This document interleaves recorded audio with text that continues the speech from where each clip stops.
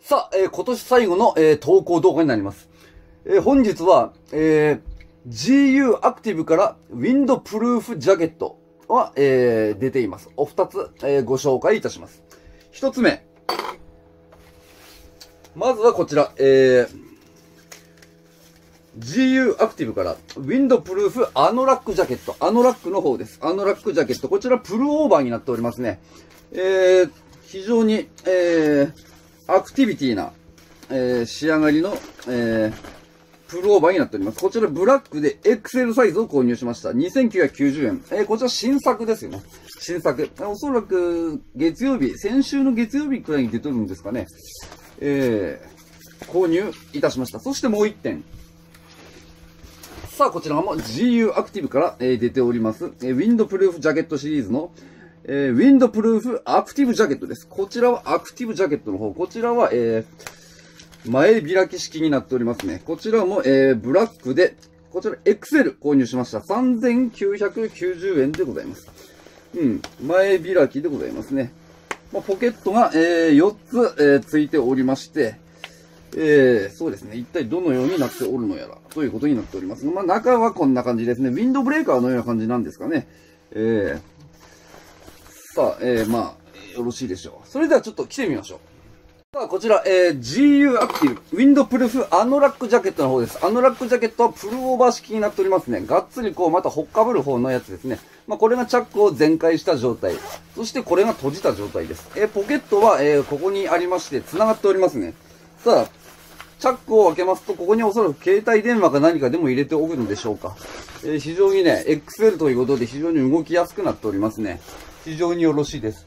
ブラックの発色もよく、えーしかも、ペラペラかと思いきや、裏地が、まあ、ある、あるもんですから、もう思ったよりもね、しっかりとした、がっしりと何かこう、重厚な、思ったよりも重厚でございます。うん。よろしいかもしれませんね。これはよろしいです。で、もう一つ来てみましょう。さあ、こちらはウィンドプルーフアクティブジャケットの方です。アノラックジャケットとアクティブジャケットというものがあります。え前開き式とプルオーバー式でございますね。さあ、こちらポケットが、えー、4つついておりますね、前に。ここに1、2、うん、これは普通のポケットでございます。さあ、ここにも、まあ、一緒なポケットがこうついておると。4つのポケット。さあ、これはどちらに、え手を入れてもよろしいというような感じです。まあ、これでもよろしいでしょう。まあ、こんな人はいませんが。さあ、えー、XL サイズということで非常にブカッとね、中に何でも着込めるという気がいたします。まあ、えー非常にあった、えーこちらもアノラックジャケットと同様の、えー厚みでございますね。しかしまあこちらの方はあとまあここに引っ張りくんがいますね。これでまあ引っ張ることができるのでしょう。おそらくシルエット調整でございます。まあこちらの方は後で試してみましょう。えーチャック、ボタンを閉めると、えーどんな感じになりますかね。うん非常に、えーシルエットも綺麗でございますね。まあ、どこまで止めるのか。上まで止めれば、うん。まあまあ、あったかそうな感じの。そして、ここにはまあ、えー帽子がついておりますか。ちょっと開けてみましょう。帽子くんが一体どのような感じで、えーついておるのか、ということですが。うん。アノラックジャケットには帽子がついておると、まあ、1000円高いですからね。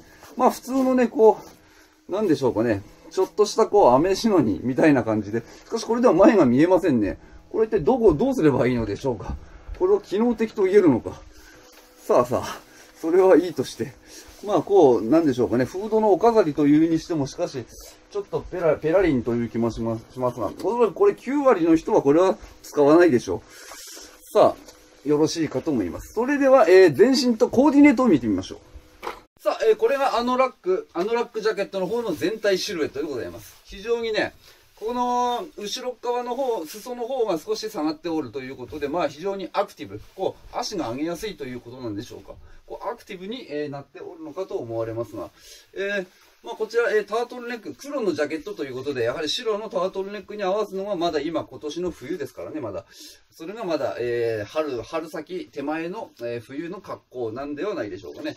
非常に、えーよく、えーまとまったと、自画自賛したいと思います。うん。まあ、アクティブジャケットの方はですね、やはり、えーブラックを買ったということで、非常にこうシンプルな感じになっておりますので、まあ、少しこうストールを巻いてね、えー小物で格好をつけると、メガネなどもして少し、えーシンプルすぎないように、えー、まとめ上げるというのも一つよろしいのではないかと思います。まあ、このジャケット的にはね、XL でもゆゆったりした感じで、やはりオーバーサイズシルエットということでトレンドも意識していると。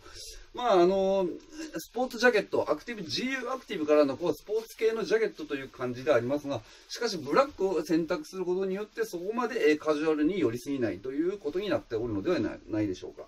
うんさあ、やはり、えー、プルオーバーには、やっぱスキニースラックス、スキニー細身のパンツがよく合うと思いますね。やはり Y ラインシルエットができますから、非常に、えー、シルエット的にも、えー、色合い的にもよろしいのでは、ないでしょうか。まあ、それにしてもですね、このアノラク形式の中でこのフードがない、パーカーがないというのも一つまた良さ、メリット、デメリットがあると思うんですが、一つメリットのポイントとして、え、いいのではないでしょうかね。そういえば、まあ、フード、パーカーを着ても良い良いですしね、非常に、えー、着やすいんじゃないでしょうかね。非常に黒で着回しもしやすそうな、えー、アノラックジャケットということになりそうです。少し首元が寂しいと思えば、やはりマフラー、ストールの登場でございます。えー、最近やはりストールも気に入っておりまして、非常にね、こう、使いどころが出てきておるのではないでしょうかね。こちらの方は本当にね、やはり皆様にも、えー、お勧めしたい。アラフォーの、えー、ストールは非常にね、えー、貫禄が出て よろしいのかと思いますが、まあ、そのような貫禄は必要なのかどうかはわかりませんが、まあ、えー、よろしいかと思います。中もね、カーディガンのアンサンブルををいたしまして、アンサンブルも気に入っております。うん。非常に Y ラインシルエットは完成して、えー、よろしいかと思われます。さあ、えー、思い切ってアウトドアな感じにしてみるのもいいかもしれません。綺麗めな要素をだいぶこう、排除して、えー、アウトドア、カジュアルチックにしてみました。まあ僕はそのアウトドアライクというのがあんまりこう得意じゃないんですが、皆様、一体どんな感じにお思いでしょうか？まあ一応組み合わせとしてはね、まあユニクロ GU 系でもほとんど組み合わせておるんですが、一応足元の靴はブーツスニーカーというものを採用しております。こちらバンズでございます。うん。まあその思ったよりは悪くない。一応ポイントといたしましては、一応白を首元に入れてみることで少しだけ、えー、まあバランスを取ると。いうような感じにしております。しかしこの、えー、アノラックジャケットというのは非常にやはり着回しが効くというのは間違いないのではないでしょうか。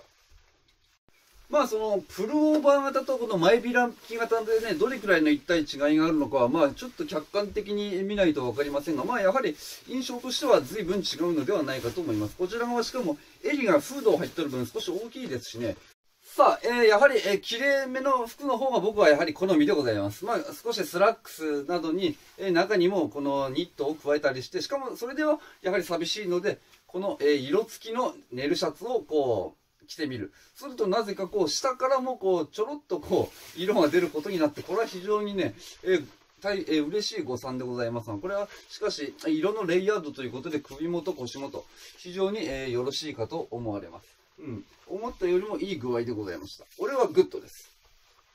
で全身ダークなスタイルにするということで、えー、やはりこの思い切って赤のチェックのストールを引っ張ってくる。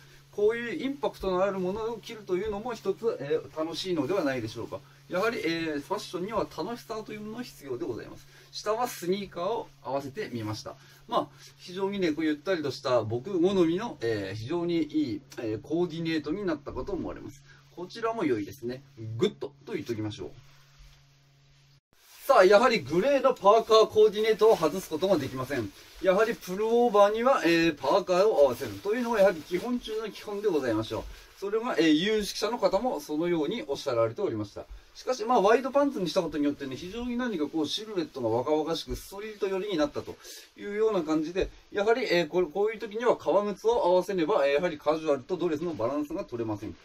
しかし僕はこういう格好というのは非常に好きでございます。なかなか、えー、おしゃれだなと思ってもらえるような格好でないでしょうか。ちょっと自信がありませんが。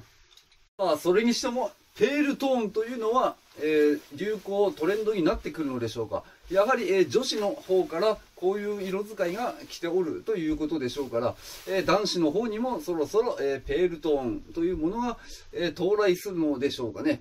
しかしまあ、難しいものでございますが、GU というのはさすがに、えこういう色を今から、え順次出しておる状態でありますから、僕たちも、え心配せずに、え待っていれば良いのではございませんでしょうか。え心配は無用でございます。一番心配しているのは僕でございます。さあ、最後は、えー、GU アクティブと、えー、ウィンドウ、えー、ウィンドプルーフのジャケットのアンサンブルとして、最後はやはり締めでもなりません。こういう風な重ねにこそ、やはり、えー、ファッションの真骨頂となるのではないでしょうか。えー、しかし、えー、今年は、えー、このチャンネルを始めまして、えー、様々なことがございました。皆様、えー、ご視聴いただき本当に感謝しております。えー、チャンネル登録者数も、えー、今年をもちまして、なんと800万人を超えることができました。えー、日本の、え、チャンネルトップ3に名を連ねることができまして、え、非常に光栄に思っております。今後も皆様、チャンネルの方をご覧いただき、お願い申し上げます。ということで、え、また、え、来年の方もよろしくお願いします。それでは、え、よろしいと思われた方は、いいねの方を、そしてまた、えー、このチャンネルの成長を、えー、また一緒共に願ってくれるお方は、チャンネル登録の方をよろしくお願いいたします。それではまた、えー、良いお年を。